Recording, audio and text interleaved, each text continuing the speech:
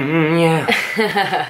Hi. Hi. So if you haven't noticed, we got new hair. Mm-hmm. Don't have a drink for Cheers Happy Tipsy Tuesday. Cheers, Happy Tipsy Tuesday. We had a photo shoot all day, so we couldn't drink, or we would be looking busted. Yeah. Oh my god, I would look so tired. We wanted to do um, a new segment that we're starting called Tipsy Talk. Tipsy Talk. It's Tipsy Talk. It's like story time. Yeah, But it's, it's like- our version. Because things happen to us. Something just happened right now. But Oh that's not what the story is about.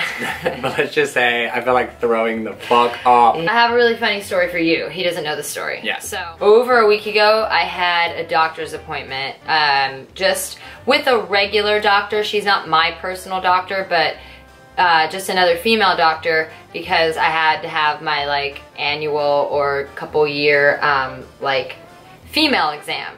And you know, gotta make sure everything's okay, in tip top shape. Um, so any girl knows this when you go to like the gynecologist or a doctor and that's what you're there for. They're gonna ask you about your sex life obviously. Um, mine's really not that exciting so cool. It turns into like like almost like a therapy session because they're like well what's your situation?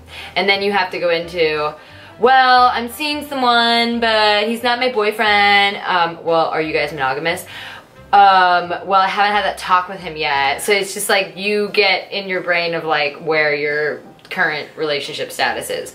So when's your next one so I can go with you? Yeah. Meanwhile, you're just in this gown and like there's, you're just, you're ready to just like get it over with. And they're just like, okay, so you don't have a boyfriend. And you're like, no, I don't have a boyfriend. So, but the person you're sleeping with, you're not monogamous with. No. Was he sleeping with someone else? I don't know. I haven't asked him. I can text him. Yeah, like, ugh.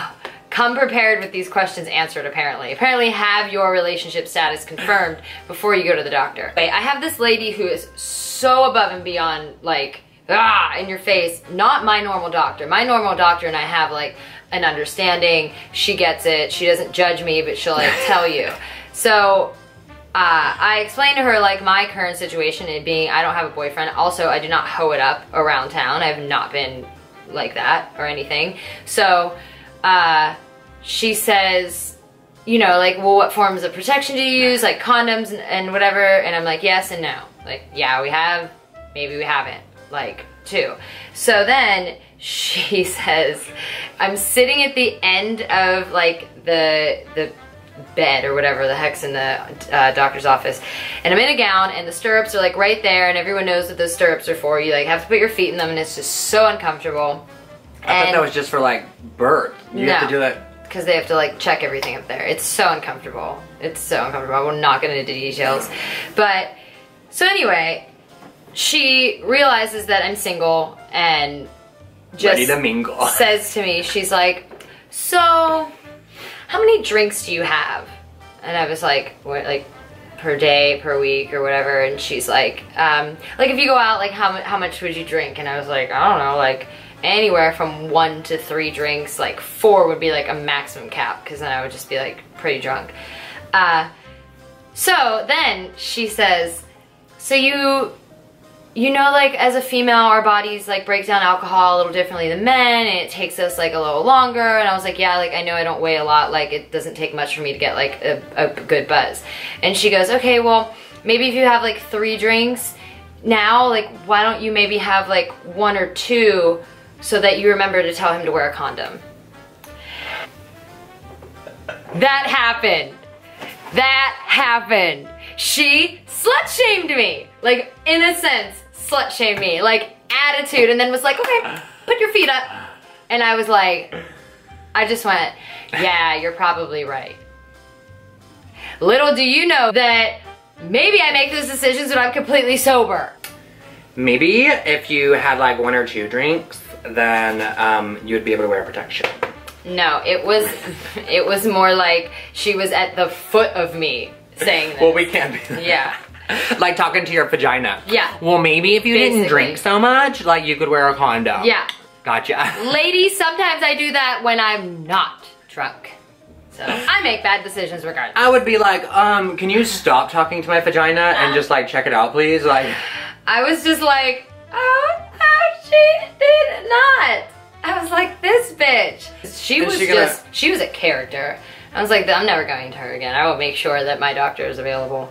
But So next time you go, I'm going with you. yeah, well, I'm not going with this lady. She was, ah. she was so much. So my words of advice would be: don't let your doctor slut shame you. Number one, if I want to make those bad decisions, you're here to fix them.